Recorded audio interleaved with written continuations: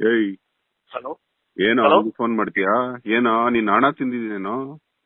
ಏನ್ ಹಂಗ್ ಫೋನ್ ಇಲ್ಲ ಮಾಡ್ತೀಯಾ? ಸರ್. ಬೇರೆ ಕೆಲ್ಸ ಇಲ್ವಾ ನಮ್ಗೆ? ಆಯ್ತು ಆಯ್ತು ಸರ್ ಬೈ. ಏನಿದು? ಧೂಪದ್ದಿಲ್ಲ ಏನಿದು ಅಸಹ್ಯ? ಏನ್ ಬೇರೆ ಕೆಲ್ಸ ಬರೆಯೋಕೆ ಬಿಡ್ತಾ ಇಲ್ಲ ಕಂಟಿನ್ಯೂಸ್ ಆಗಿ. ಏನದು? ಥೂ. ಇದು ರಿಲೇಶನ್ಶಿಪ್ ನೇ ಬ್ರೇಕ್ ಮಾಡ್ಬಿಡುತ್ತೆ ಈ ಬಿಹೇವಿಯರ್ ಏನು? ಇಲ್ಲ ಸರ್ ಏ ಸಾಲಗಾರರು ಹಿಂಗ್ ಮಾಡೋದಿಲ್ವಾ? ಇಲ್ಲ ಸರ್. ಯಾವ ಊರು? ನಾವು ಜ್ಞಾ- ನಾವು ಜ್ಞಾನದ ಸಾಲ ತಗೊಂಡಿದೀವಿ ಸರ್ ನಿಮ್ ಕಡೆ ಅದಕ್ಕೆ. ಯಾವ ಊರು?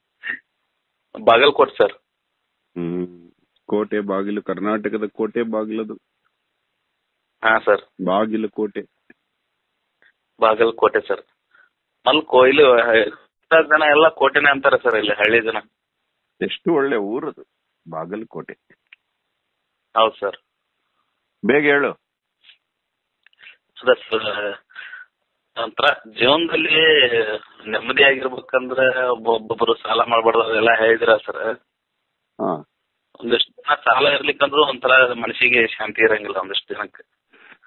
ಹಾ. ಅದೇ ಸರ್ ಅನ್ನ ಕೇಳಕ್ ಸಾಲ ಇಲ್ದೇ ಇದ್ರು ಆಗಲ್ವಾ ನಿಂಗೆ? ಅಲ್ಲ ಅಲ್ಲ ಸರ್ ನನಗಲ್ಲ ಸರ್. ಅಂದ್ರೆ ನಂದು ನಂದು ಹೇಳಿದೆ ನಮ್ಗೆ. ಸಾಲ ಇರ್ಲಿಲ್ಲ ಇರ್ಲಿಲ್ಲ ಅಂತ ಮಂದಿಗೆ ಇದ್ರು ನೆಮ್ಮದಿ ಇರಂಗಿಲ್ಲ ಇರ್ಲಿಲ್ಲಂದ್ರೂ ನೆಮ್ಮದಿ ಇರಂಗಿಲ್ಲ ಅಂತ ಹೇಳಿದೆ ಸರ್. ಆಸೆ ಇರೋರ್ಗೆ ಸಾಲ ಇಲ್ಲದಿದ್ರೆ ನೆಮ್ಮದಿ ಇರೋದಿಲ್ಲ. ಆಸೆ. ಇಲ್ಲದವರಿಗೆ ಸಾಲವಿದ್ರೆ ನೆಮ್ಮದಿ ಇರೋದಿಲ್ಲ ಎರಡು ರೀತಿಯ ಜನ. ಇದ್ದಾರೆ ಆಸೆ ಇರುವವರ ಆಸೆಯನ್ನ ಹಿಡಿದಿಡುತ್ತೆ ಸಾಲ. ಆಸೆ ಇಲ್ಲದವರ ದುಃಖವನ್ನ ಮೆಟ್ಟಿ ನಿಲ್ಲತ್ತೆ ಸಾಲ. ಹಾಗಾಗಿ ಕೆಲವರಿಗೆ ಆಸೆ ಜಾಸ್ತಿ ಇರುತ್ತೆ. ಅವರಿಗೆ ಸಾಲ ಅನ್ನೋ ಲಗಾವಿಲ್ಲ ಲಗಾಮ್ ಇಲ್ಲ ಅಂದ್ರೆ ಅವರು ಮಿತಿಮೀರಿ ಬೆಳೆದು ಸಾಲದಿಂದ ದುಃಖಕ್ಕೆ ಕಾಲಿಟ್ಟು ಮಿತಿಮೀರಿ ಹೊರಟೋಗ್ತಾರೆ. ಅವ್ರನ್ನ ಆ ಸಾಲವೆಂಬ ಲಗಾಮು ಹಿಡಿದಿಡುತ್ತೆ. ಆದ್ರೆ ದುಃಖ ಕಟ್ಟಿಟ್ಟ ಬುತ್ತಿ ಲಗಾಮು ಅಂದ್ರೆ. ಏನು? ಕಾಡು ಕುದುರೆ ಮತ್ತೆ ನಾಡು ಕುದುರೆ ಅಂತ. ನಾಡು ಕುದುರೆಗೆ ಲಗಾಮು ಕಟ್ಟಿ ರಥ ಎಳಿಸ್ತಾರೆ. ಕಾಡು ಕುದುರೆಗೆ ಯಾರು ಕೂರುವವರು ಇಲ್ಲ ಲಗಾಮು ಹಾಕುವವರಿಲ್ಲ ಮೂಲ ದಾರ ಇಲ್ಲ. ಅರ್ಥ ಮಾಡ್ಕೋ. ನಿಮ್ಮನ್ನ ಕಾಡು ಕುದುರೆಗಳ ತರ ಆಗ್ಬೇಕು ಅಂತ ಪ್ರಚೋದಿಸುತ್ತಿದ್ದಾನೆ ಅಹೋರಾತ್ರ ನಿಮಗೆ ನಾವು ಜಟಕಾ ಬಂಡಿಗೆ ಇಳಿಬೇಕು ಅಂತ ಆಸೆ ಪಟ್ರೆ ಖುಷಿಯಾಗಿ ಹೋಗಿ ಮಾಡ್ಕೊಳ್ರು ಬದುಕು. ನಾ ಯಾರು ಗೊತ್ತಾದ ಸರ್ ನಿಮ್ಗೆ? ಯಾರು ಹೋಗಲೇ? ಸರ್ ನಾ ಸರ್ ಭಗತ್ ಸಿಂಗ್ ಅಂತ ಇದನ್ ಮಾಡಿ ಕಳ್ಸಿದ್ನಲ್ಲ ನಿಮ್ಗೆ. ಅವಾಗ ನಂತರ ಮಾತಾಡ್ಬೇಕು. Hello sir. ಏಯ್ ಬ್ಯಾಟ್ರಿ ಮುಗಿದೋಗಿತ್ತು? ಏನೋ ಬ್ಯಾಟ್ರಿ ಮುಗಿದೋಗಿತ್ತು? ಹಲೋ?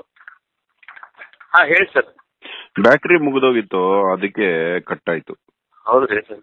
ಇಲ್ಲ ಸರ್ ನಾ ಬೇರೆ ತಿಳ್ಕೊಂಬಿಟ್ಟೆ. ನನ್ನ ಹೆಸರು ಯಾವನ ಕಟ್ ಮಾಡಿದ್ರಲ್ಲ ಸರ್. ಇನ್ಮೇಲೆ ಯಾವತ್ತು ಯಾರು ನಿನ್ನ ಹೆಸರೇನು ಹೇಳು? ಏನ್ ನೀನು ಅಂತ ಗೊತ್ತಿಲ್ಲ? ಸಿದ್ದು ಹಿರೇಮಠ ಸರ್ ನನ್ನ ಹೆಸರು ಸಿದ್ದು? ಹಿರೇಮಠ ಸರ್. ಹಾ ಏನ್ ಇವಾಗ? ಸಿದ್ದು ಹಿರೇಮಠ. ಹಾ ಏನ್ ಬೇಕು ನಿಂಗೆ? ಸರ್. ಏನಿಲ್ಲ ಸರ್ ನಿಮ್ ಜೊತೆ ಮಾತಾಡಿದ್ದು ಒಂದು ಆಯ್ತು ಸರ್ ಮಾತಾಡಿದ್ದು ಅದನ್ನ ಹಾಕ್ತೀನಿ ಇವಾಗ. ಆಯ್ತು ಸರ್ ಹಾಕಿ ಸರ್. ಹ್ಮ್. ಇನ್ನೇನ್ ಬೇಕು ಹೇಳು? ಏನಿಲ್ಲ ಸರ್ ಇವತ್ ನಮ್ ತಂದೆ ತೀರ್ಕೊಂಡು ಒಂದ್ ವರ್ಷ ಆಯ್ತು ಸರ್ ಇವತ್ತಿಗೆ.